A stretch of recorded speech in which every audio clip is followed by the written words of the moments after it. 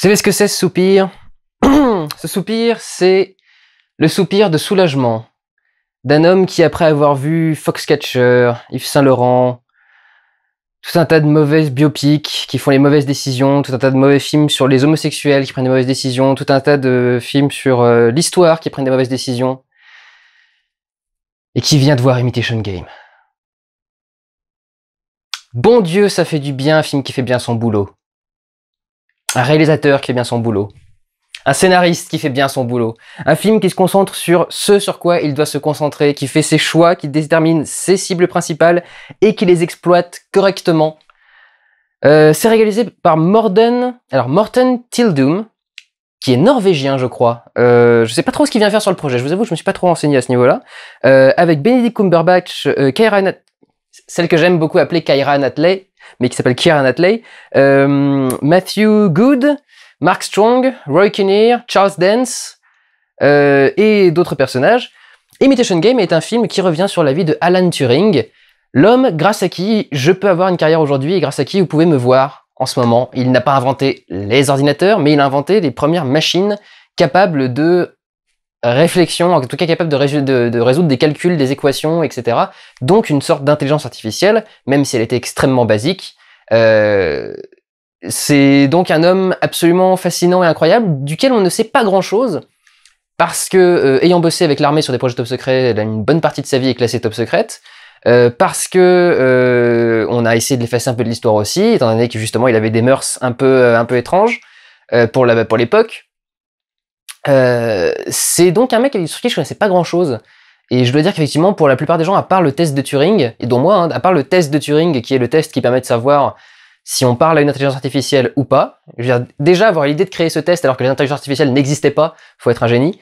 Euh, c'est euh, à part ça, on connaît pas grand chose de lui et du coup le film est vraiment fascinant à regarder pour ça parce qu'on en apprend.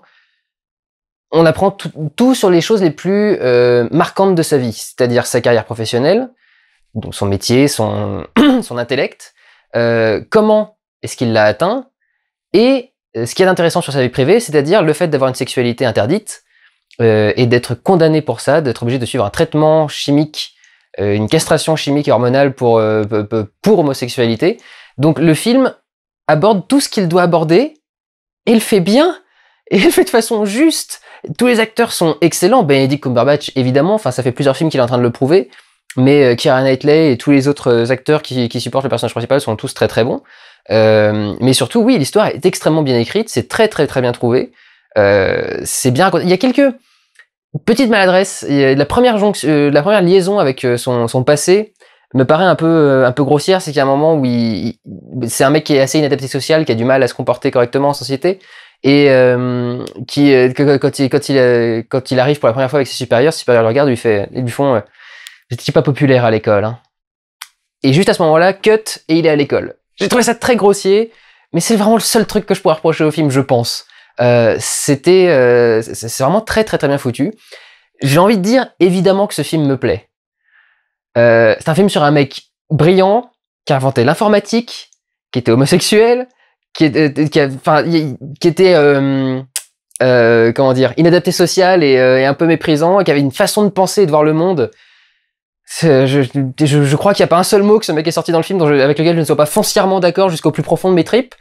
Euh, donc c'est un film très bien fait sur un personnage que j'aime bien, donc forcément que je l'ai kiffé, et je pense que n'importe qui peut le kiffer parce que le film est fascinant.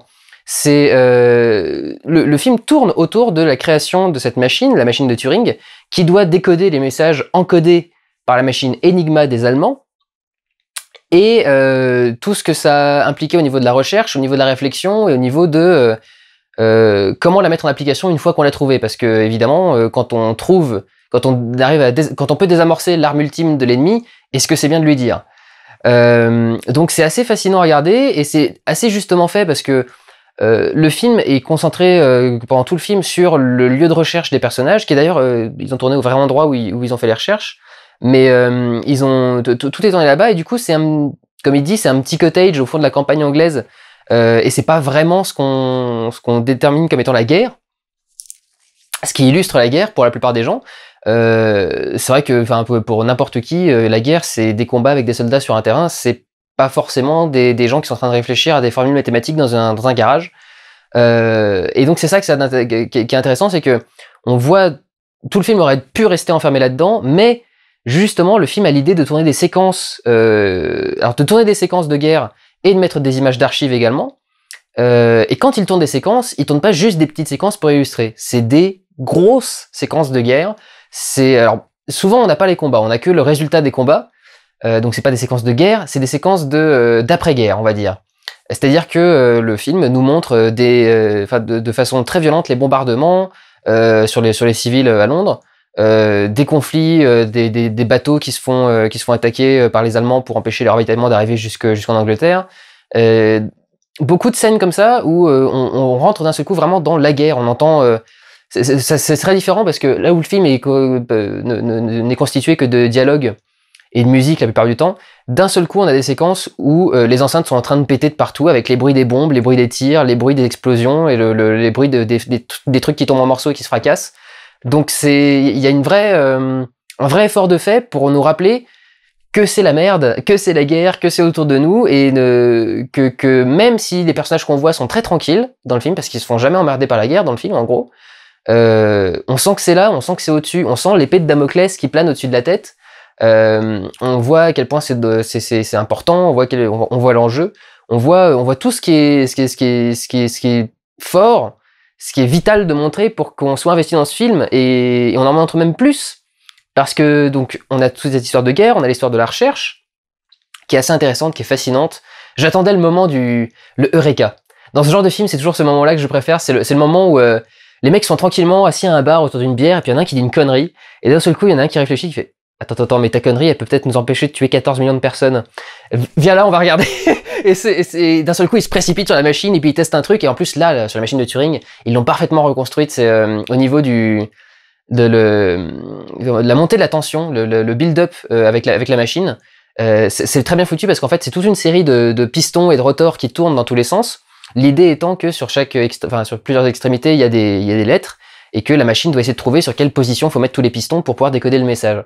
Et donc on a une machine qui est pendant euh, 5-10 minutes en train de tourner dans tous les sens et d'avoir de faire des allers-retours et des machins et ça fait des clics, ça fait plein de bruit vachement euh, vachement fort. Et d'un seul coup, poum, la, roue qui, la roue qui se braque net, la flèche qui monte la lettre et c'est hop, code déchiffré. Et c'est vrai que du coup on a toute une montée de tension, on voit on voit on a des zooms, on voit le les pistons qui tournent, les caméras se rapprochent, on voit des trucs qui se, qui se bloquent, qui se machin, qui bidulent, et d'un seul coup le son, pop, tout le son s'arrête avec un espèce de gros clac, les bobines s'arrêtent, on voit le zoom, on voit le machin, c'est très très bien géré au niveau de, au, toutes ces tensions et de, la mise en scène de, des enjeux. Euh, je regarde vite fait mes notes, mais j'en ai pas pris beaucoup. J'ai pris trois phrases de notes.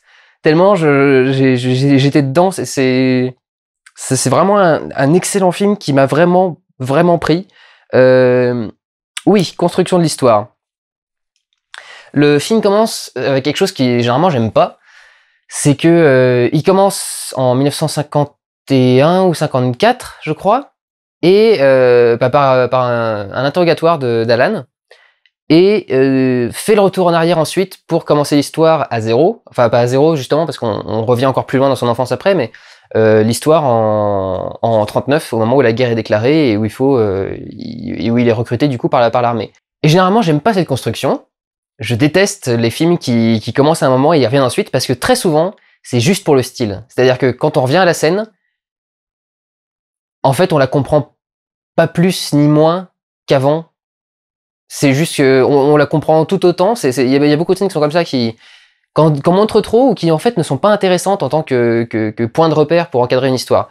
Là, pour le coup, c'est bien fait parce que ça ne revient pas que à la fin du film.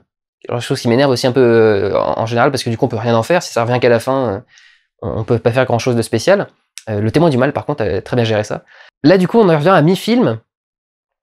Donc, à mi-film, on a enclenché toutes les histoires qui permettent de resituer cette, scène qui est très particulière parce qu'il se fait pas interroger par n'importe qui pour n'importe quoi. Et il s'est fait interroger par, beaucoup de gens. Et, et quand on y revient, du coup, euh, on a deux timelines qui sont déclenchées, la timeline de sa recherche et la timeline de son enfance qui vont montrer qui il est et qu'est-ce qu'il fait. Et ce sont ces deux choses qui sont intéressantes pour cet, cet interrogatoire, qui est ce qui encadre en fait tout le film. Et le film se termine bien après cette scène-là, Ce que j'ai beaucoup aimé aussi, parce que souvent, on y revient à moitié, puis c'est la scène de fin de film, et puis après on s'en va. Non, là, il y a encore un, après, après cette scène-là, quoi. Il y a encore autre chose. Donc vraiment, au niveau de l'écriture, quelque chose de très très bien trouvé et de très bien foutu. Il se trouve en plus que les personnages sont tous très attachants, en particulier euh, Turing, malgré son côté asocial et, euh, et, son comportement un peu étrange. Euh, le personnage de Karen Knightley en particulier est, vraiment assez intéressant. Euh, je dirais que peut-être les moins développés sont ses collègues, et encore, ils ont vachement de choses intéressantes euh, à, à, proposer. Bon, il y en a un qui est un peu là juste pour... Euh, bon, il y en a un qui fait figuration complètement, c'est en un avec des lunettes. Il y en a un qui est un petit jeune qui est là parce qu'il y a un élément en particulier qu'il explique en tout début de film et qui va servir au moment où ils auront bien avancé dans, dans, la résolution de, euh, du, code Enigma et pas vraiment bien, justement, c'est parce que c'est intéressant de le mettre en place avant. Euh, il y en a un troisième qui a une autre utilité aussi, qui est découverte euh, à la fin du film, et le quatrième qui est un des plus importants, qui est un des rares à être du niveau de Turing ou, ou, ou un tout, très légèrement en dessous. Euh, donc c'est assez fascinant aussi à regarder. Euh, et c'est pas le genre de film qui se qui se complaît en son intelligence. C'est-à-dire qu'il y a effectivement beaucoup de passages où on explique des théories, où on essaie de faire avancer les choses, mais le reste du film a des discours tout à fait logiques et normaux et que n'importe qui pourrait avoir, euh, qui sont donc assez intéressants euh, à, suivre et, et, à regarder. En clair, voilà, je trouve que c'est un film qui est juste, qui prend les bons choix, les bonnes décisions, euh, qu'il fait bien, je dirais que euh, c'est peut-être tourné de façon très classique. Vous remarquerez que j'ai pas parlé beaucoup de mise en scène. Euh, c'est très classique, c'est du champ contre champ, c'est des plans à la grue. Euh, pas énormément de sens dans la mise en scène. J'ai pas été bouleversé par le, sens d'un cadre ou par la façon de montrer quelque chose. Euh, c'est donc euh, voilà, c'est de la mise en scène classique, un peu académique, mais très bien faite. Euh, donc pas de quoi gueuler non plus. Euh, je sais pas pourquoi, apparemment il voulait un chef-op en particulier. J'ai pas trouvé que la lumière était particulièrement, euh, enfin me, soufflait particulièrement. Euh, ayant vu une folle histoire de, une merveilleuse, une histoire, une merveilleuse histoire du temps juste avant, ça m'a, ça m'a pas paru particulièrement intéressant au niveau des lumières. Mais voilà, le, le, film est magnifique, très très bien fait. musique d'Alexandre Desplat, donc forcément ça meuble plus qu'autre chose, mais c'est quand même bien fait, c'est quand même plutôt pas mal c'est marrant parce que du coup, il y a, plein, euh, ça, fait plusieurs films que qu'on commence à voir qui, qui, parlent des mêmes choses. Au tout début de ce film-là, on a le discours du roi qu'on entendait dans le film Le discours d'un roi. Euh, on, on, on, voit, on voit plein de choses comme ça. On voit l'histoire de Churchill. Je l'ai vu il y a quelques jours avec euh, Invincible. Ah voilà, encore un film qui était magnifiquement raté dans sa, dans son, le fait de retracer la Seconde Guerre mondiale euh, et faire un biopic et de s'intéresser vraiment au personnage. Voilà, euh, Imitation Game c'est bien mieux aussi que qu'Invincible. Euh, et ça aussi, ça m'a fait pousser mon soupir de soulagement de début de vlog. Écoutez, voilà, je vais pas euh, baragouiner pendant de, des heures. Euh, vous avez le message, vous l'avez déchiffré, c'est bien, faut aller le voir. Euh, c'est un très très très bon film et c'est le meilleur que j'ai vu depuis le début de l'année, je pense. J'ai vraiment été très touché par le film, je le trouve juste, intelligent, fort.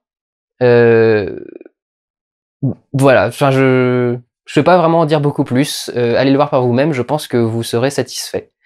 Prenez soin de vous, allez voir des films. Ciao